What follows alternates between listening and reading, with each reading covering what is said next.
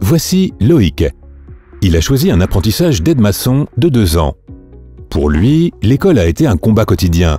En raison de son caractère volontaire, il a opté, avec quelques réserves, pour un apprentissage axé sur la pratique. Sa formation fait surtout appel à ses compétences pratiques. Il est apprécié pour son engagement et sa fiabilité. Le travail lui plaît de plus en plus. Loïc finit son apprentissage en deux ans.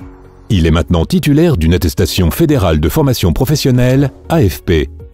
Motivé par ce succès, Loïc entreprend un apprentissage de maçon accéléré en deux ans en raison de ses bons résultats AFP.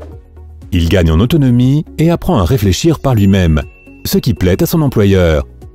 Après deux ans, Loïc obtient son certificat fédéral de capacité, CFC.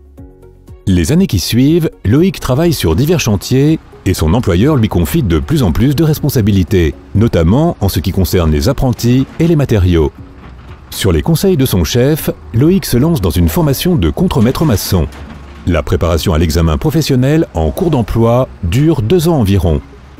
Sa formation lui permet de devenir entrepreneur en construction et il se voit confier des fonctions de management. Parmi d'autres avantages, il gagne nettement plus qu'au début. Loïc peut poser un regard sur une vie professionnelle réussie. L'approche pratique était exactement ce qu'il lui fallait. La reconnaissance de son travail, ainsi que l'aspect pratique, lui ont permis de se dépasser également sur le plan scolaire.